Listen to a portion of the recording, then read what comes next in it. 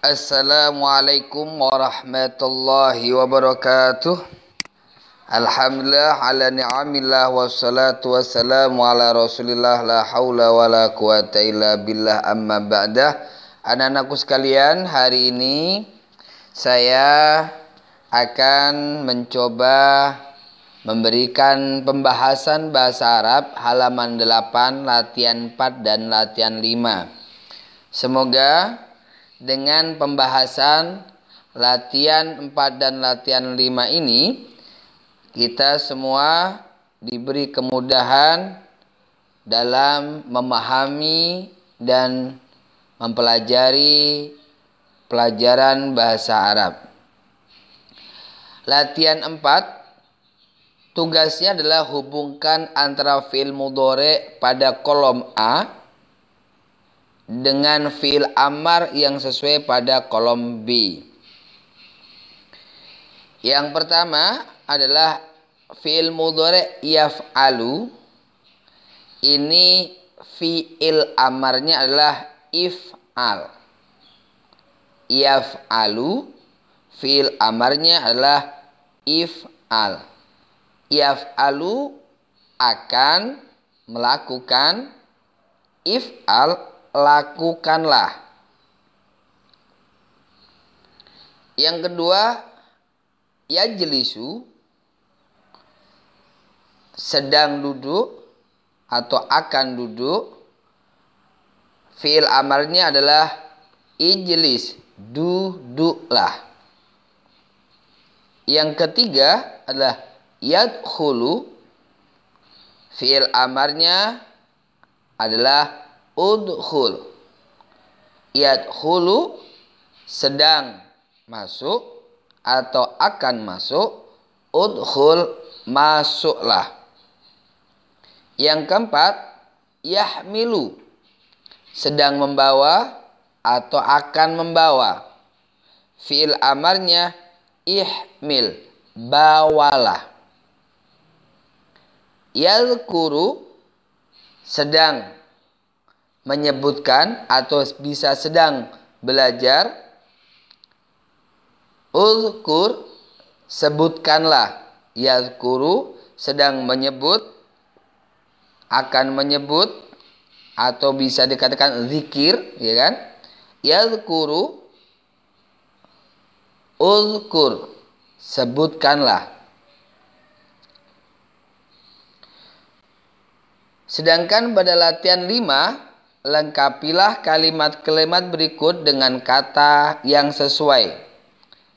Nuktoh nuktoh, titik titik, ridwan ridwan, sholat subhi, sholat subuh.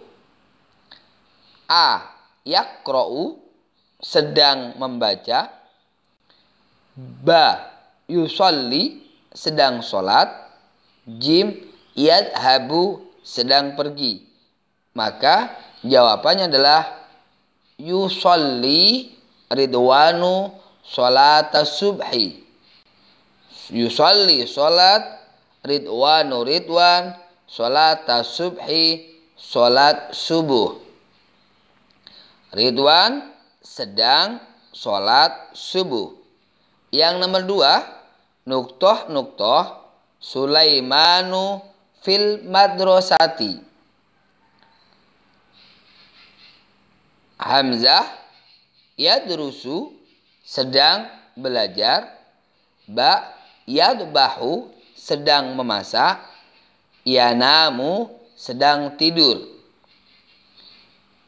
Saya ulangi lagi. Yadrusu sedang belajar. Yadbahu sedang memasak. Yanamu sedang tidur. Jawabannya adalah A atau Hamzah. Yadrusu sedang belajar Sulaimanu Sulaiman fil madrasati di dalam sekolahan. Sulaiman sedang belajar di dalam sekolah. Yang nomor tiga, Ya Sulaiman, wahai Sulaiman, nuktoh nuktoh kalamal ustadi, perkataan guru. Hamzah atau A isma. Dengarkan. Ba ijlis. Duduklah. Jim ikra bacalah. Ya Sulaiman. Wahai Sulaiman jawabannya adalah isma. Dengarkan kalamal ustadi ucapan Pak Guru yang nomor lima, yang nomor lima, yang nomor empat, yang nomor empat adalah tanawalu aisyatu. Tanawalu aisyatu. Tanawalu makan aisyatu Aisyah nuktoh nuktoh sobahan pagi hari al ghadaa al futuro al-asya'a. Oke. Okay. Tanawalu Aisyatu Aisyah makan ini ada istilah makan siang, makan pagi atau makan malam. Nah, ini kalau sobahan berarti sarapan. Bahasa sarapan adalah al-futuro tanawalu Aisyatu Aisyah sarapan pagi. Yang nomor lima adalah Ya Munir, wahai Munir. Isma, dengarkan.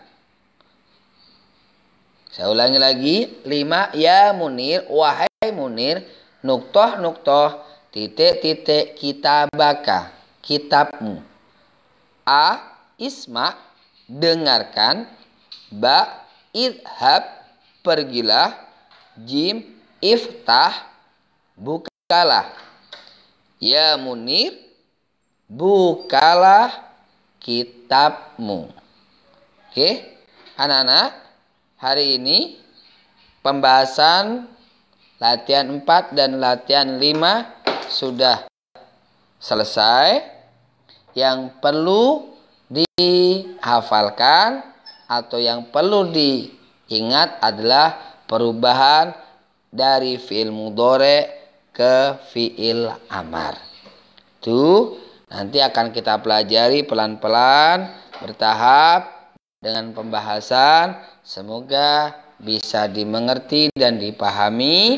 Ada kurang lebihnya mohon maaf. Jika ada pertanyaan bisa ditanyakan lewat channel YouTube ini atau Japri atau lewat e-learning. Terima kasih. Subhanakallahumma wa bihamdika asyhadu an la ilaha illa anta astaghfiruka wa atubu ilaik. Assalamualaikum warahmatullahi wabarakatuh.